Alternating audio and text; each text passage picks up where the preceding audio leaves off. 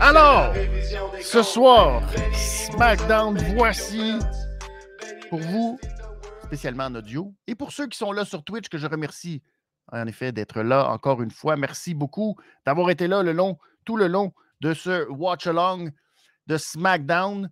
Et on va y aller dans l'ordre des réglisses ce soir. Réglisse noire, réglisse orange, réglisse rouge. Parlons de la réglisse noire. Euh, je suis obligé de la donner à Roman Reigns.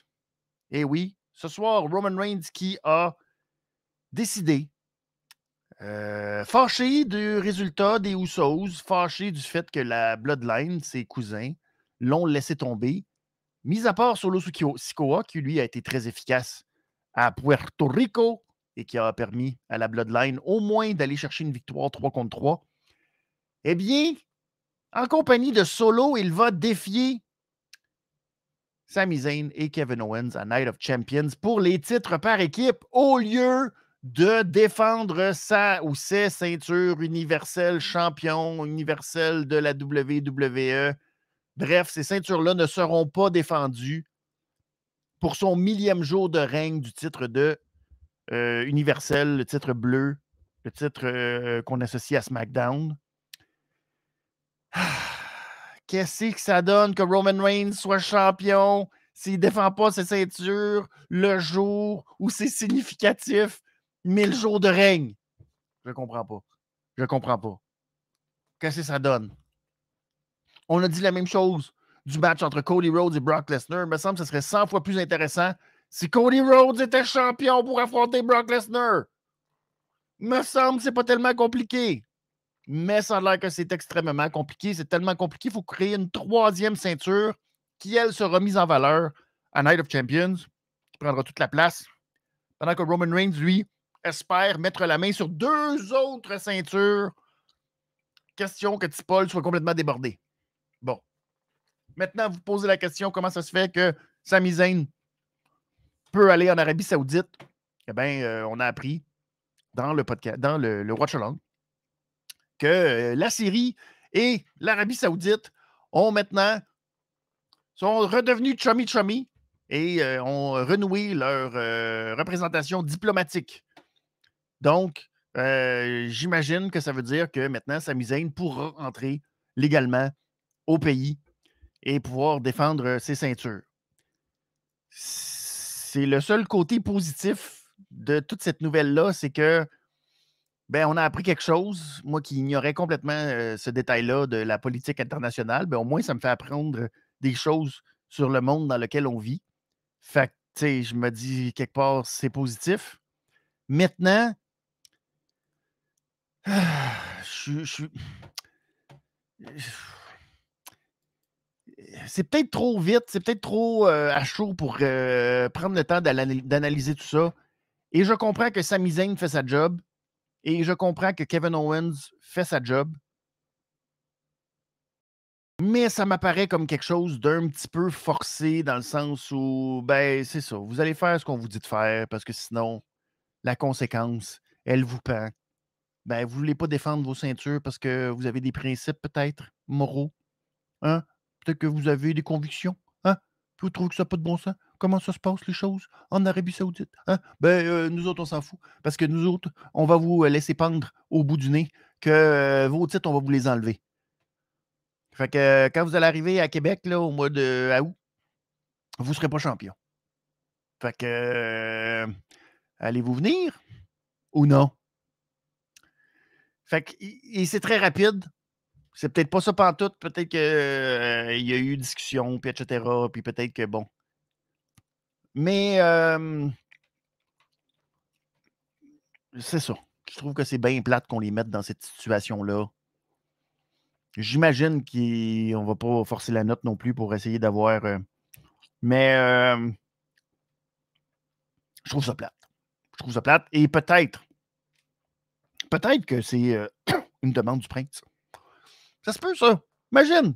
Imagine que c'est une demande du prince qui a vu à la conférence de presse entre Logan Paul et euh, Roman Reigns que, hey, mis, les gens voulaient ça a mis, puis c'est comme, ben non, il ne peut pas être là. Puis il dit, ah, ben comment ça qu'il ne peut pas être là? Ah, il est, d'origine syrienne. Ah, Hé, hey, Colin. Ça n'a pas de bon sens, ce conflit-là. Fait que là, peut-être que c'est juste ça. Peut-être que, tu sais, dans le fond, Sami Zayn est peut-être la raison pour laquelle la Syrie et l'Arabie Saoudite sont maintenant chummy chummy. J'en sais rien. Mais, euh, je sais pas, il y a quelque chose derrière ça qui me.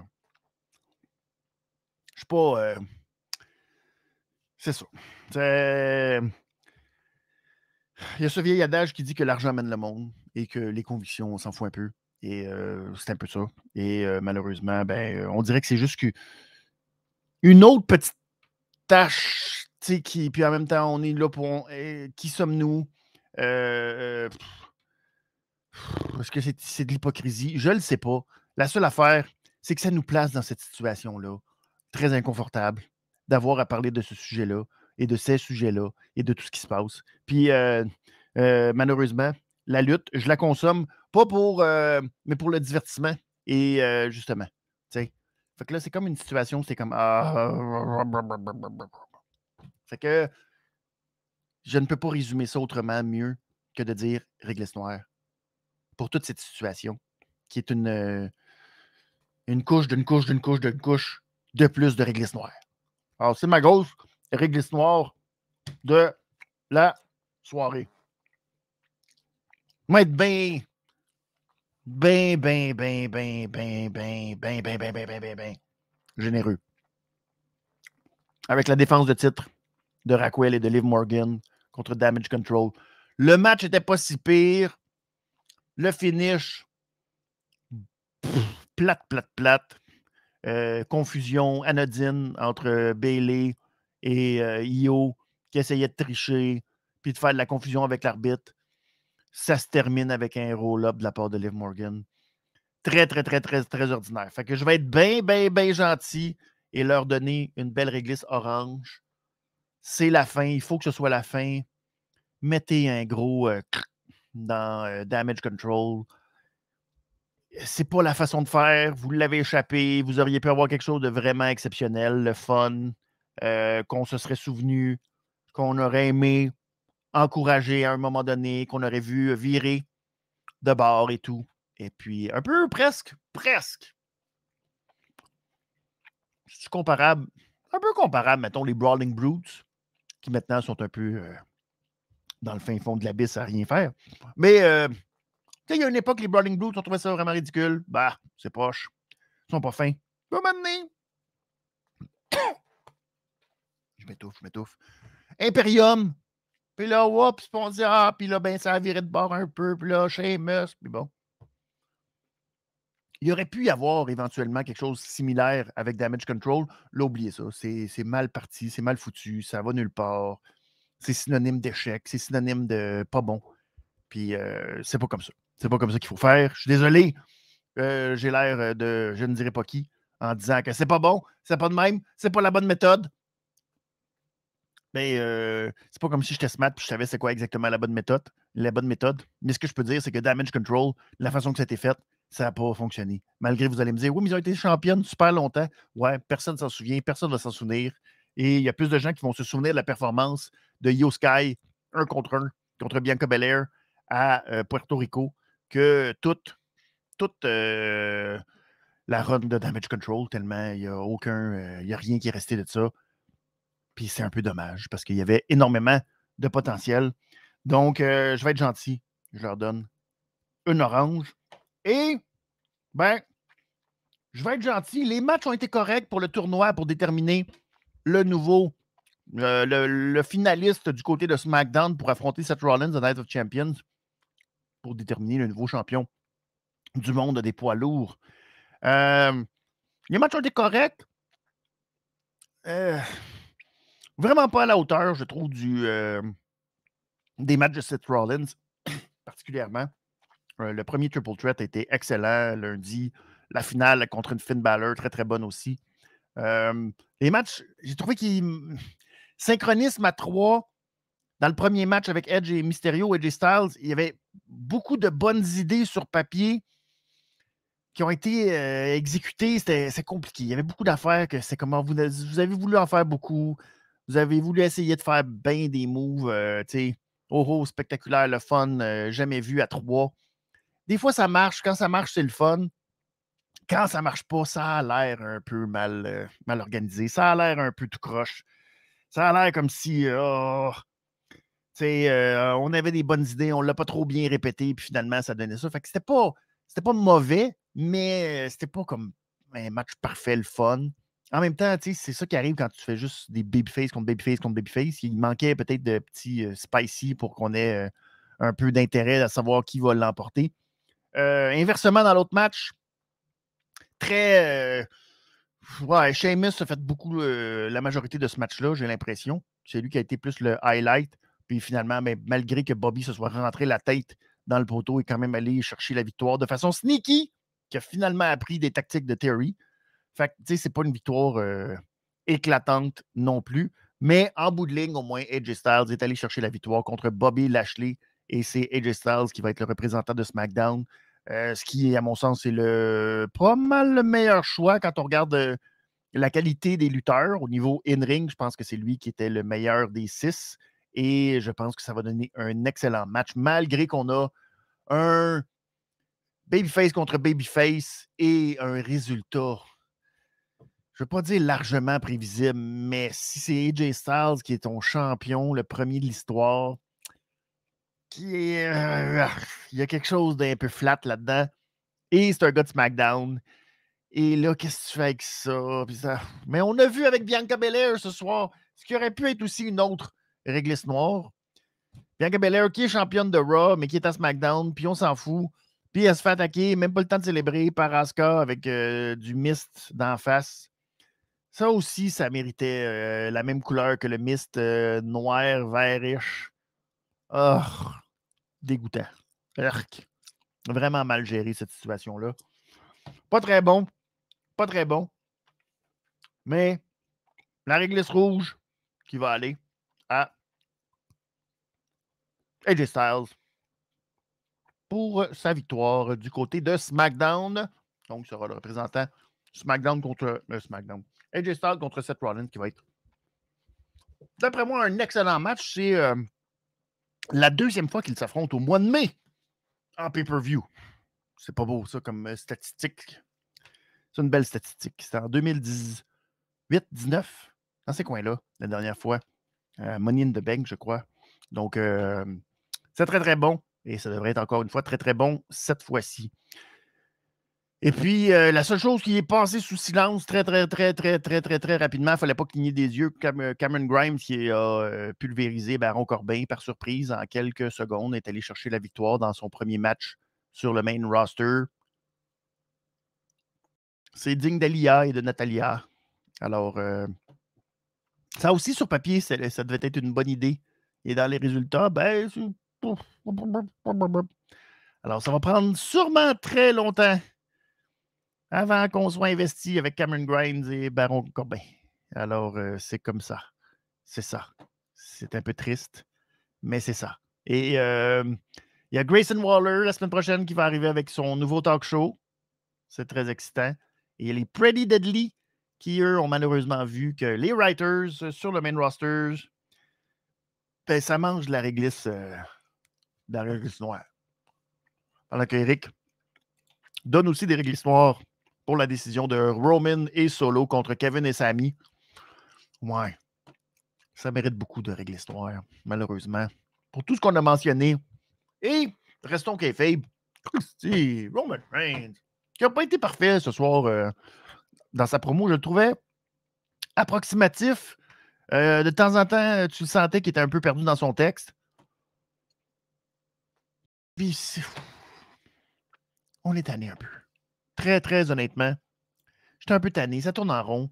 Et encore une fois, Samy. Encore une fois, Kevin Owens.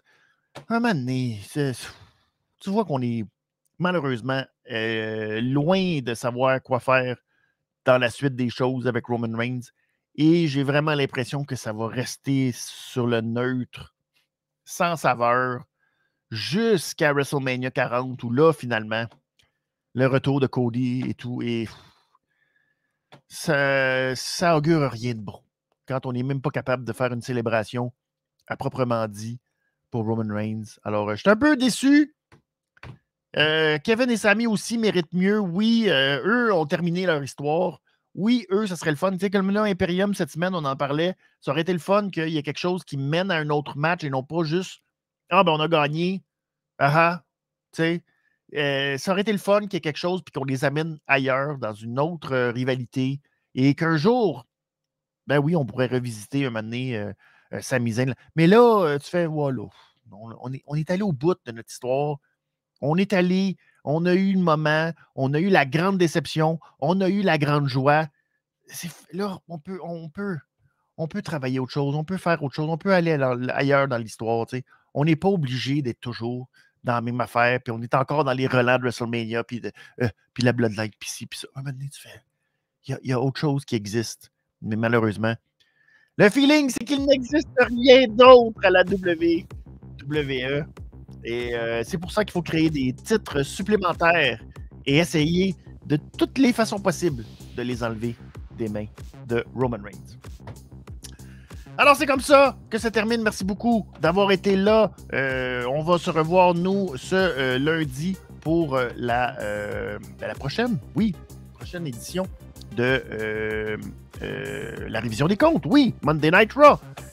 si J'espère que vous avez vu les annonces. Euh, aujourd'hui, c'était la première journée pour acheter vos billets pour Monday Night Raw officiellement, parce que la prévente a lieu aussi euh, cette semaine, mais euh, officiellement, c'était la première journée. J'espère que vous avez eu la main, la chance de mettre la main, oui, sur des billets. Ça, ça s'envole très, très, très rapidement. Il reste déjà pas beaucoup de paires de billets de disponibles dans le bol en bas. Il y a des sections au deuxième étage, dans le haut, qui ont été ouvertes maintenant. Et je pense que ça va être un très, très, très, très, très, très gros succès. Sinon, euh, vous ne voulez pas attendre au mois d'août pour aller voir de la lutte à Québec, ben vous pouvez aller aussi avoir vos billets déjà pour le Stade Canac. Ça s'en vient le 17 juin euh, prochain, où euh, justement Golden Opportunity, la NSPW qui présente son dernier gala de la saison, entre autres avec Pee-Wee, en compagnie de Golden Greg qui vont affronter Sean et Kevin Martel. Grand retour dans le ring pour Kevin Martel. Puis si vous ne voulez pas attendre jusque-là, ben vous pouvez aller aussi en fin de semaine, samedi, à Lévis euh, pour aller voir la QCW. Vous pouvez aller voir euh, les euh, amis là-bas qui vont faire Over the Top. Donc, allez voir, les billets sont encore disponibles. vous allez sur le point de vente.com, QCW, Over the Top. Vous allez Trouver tout ça, c'est en fin de semaine à Lévis, sur la rive sud de Québec. Alors, c'est comme ça que se termine cette révision des comptes. Merci beaucoup. Je vous souhaite un excellent week-end. Il fait beau, il fait chaud, profitez-en. Amusez-vous. On se revoit lundi. C'est le début de la semaine, de la semaine, de la saison estivale. Ou à partir de jeudi, ça va être les premiers midis à Benny, où on va se parler ensemble jeudi prochain de AEW, Rampage et Dynamite. Et euh, ça va être le début de la saison estivale All Elite. Et euh, tout de suite après Night of Champions, ça va être le début officiel, officiel. Les mardis aussi. Euh, on va faire des mardis de midi à Benny pour la WWE. Je vous souhaite une excellente nuit. Je vous dis à lundi. Je vous souhaite un bon week-end encore une fois. Et on se revoit pour une autre révision des comptes. Merci beaucoup d'avoir été là. Ciao tout le monde. Bye bye. Au revoir. Let's go.